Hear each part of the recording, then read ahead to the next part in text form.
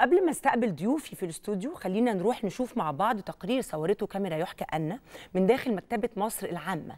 عن ندوة خاصة لمناقشة كتاب القاهرة مؤرخة.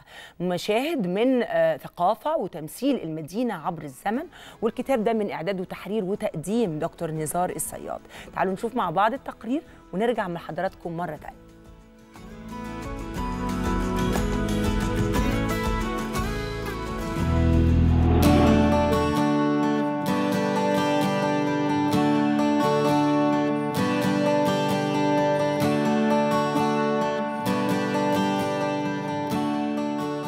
فكرة كتاب القاهرة مؤرخة آه، جت أساسا من مجموعة من الزيارات عملتها للقاهرة ما بين آه، 2019 و 2022 وفي هذه الفترة بالذات تعرفت على مجموعة كبيرة من الباحثين المصريين خاصة الشباب.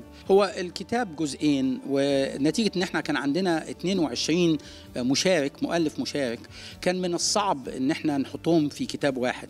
فالجزء الأول ركز أساسا على فقرات من تاريخ المدينة عبر الزمن. فبنبتدي من القاهرة الفاطمية وبنوصل لغاية آه، العاصمة الإدارية الجديدة. الجزء الثاني الحقيقة آه، آه، مركز أكتر على مشاهد من ثقافة وتمثيل المدينة في مجالات مختلفة منها الأدب والفن. في فصل خاص ب إزاي أهل القاهرة والمصريين بصفة عامة شايفينها. غالبا الناس اللي هي بتدرس المدن من الاكاديميا من إذا كانوا مثلا هندسة أو كده بيبصوا لها على إنها مخططات. بعض الاقتصاديين يبصوا لها على إنها آه، أسواق. ال sociologist أو ال geographers لهم وجهة نظر تانية. المرة دي أنا بحاول أشوف القاهرة أهلها شايفينها إزاي.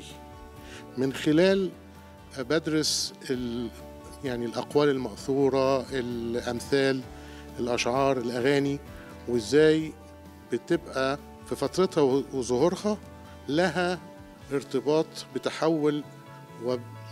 بحيث لأن ده النهاردة نوع من ال- آم، الذاكرة بتاعت المجتمع ككل في وقت من الأوقات كانوا بيقولوا الكلام ده الكتاب الحقيقة مهم جدا جدا آه، عدد كبير من آه، العلماء والفنانين اشتركوا فيه من جوانب متعددة من القاهرة. والحقيقة في معلومات آه، حتى بالنسبة لي جديدة. لأنك أنت لما بتقرأ يعني القاهرة مش هينفع لها كتاب واحد. فالشابترز أو الفصول اللي موجودة في الكتاب آه، كل فصل بيتناول آه، موضوع وبيدخله بعمق. في الواقع طبعا دكتور نزار الصياد قيمة معمارية كبيرة. فبالتالي أي ندوة آه، بيقيمها بتمثل إضافة كبيرة للفكر المعماري والفكر الحضاري على وجه عام. آه، مما لا شك فيه طبعا كتب دكتور نزار آه، بتمثل إضافة كبيرة للقيمة الحضارية للتاريخ المصري سواء كان القاهرة السينمائية القاهرة مؤرخة اللي بنحضر الندوة بتاعته النهاردة فمما لا شك فيه جميع ندوات دكتور نزار الصياد بتمثل قيمة. هو الحقيقة أنا كنت على صلة بمحرر الكتاب الأستاذ دكتور نزار الصياد وهو كنت سعيدة جدا إن هو رشحني إن أشتغل في المشروع ده مع مجموعة من الباحثين. في منهم الحقيقة باحثين كبار جدا وسواء في مصر أو بره مصر. وكمان في مجموعة باحثين من الشباب اللي بيحاولوا يشتغلوا على مشروع جديد لتاريخ مدينة القاهرة. آه، اخترت إن أنا أتكلم على القاهرة في مطلع القرن ال 18 لأن الفترة دي يمكن مش معروف قوي عنها معلومات كتير.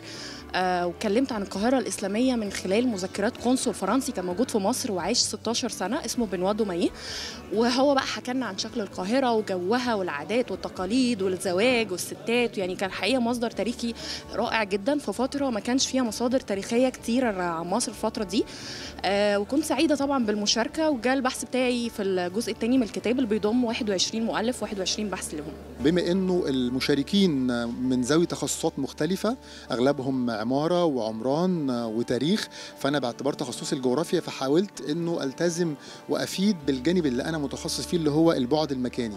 البعد المكاني سواء في الرقعة المساحية أو في آه، العامل الطبوغرافي يعني التضاريس لأن القاهرة محكومة آه، سواء في في البحث اللي أنا عملته عن قاهرة الحملة الفرنسية قبل 200 سنة أو في قاهرة القرن الحادي والعشرين محكومة بالظروف الطبوغرافيه وبالتالي التضاريس مهمة و- وبحث العوامل الطبيعيه واثارها على النمو العمراني أحد العوامل اللي بت- بتحكم آه، نمو واتجاه النمو في القاهرة في المستقبل.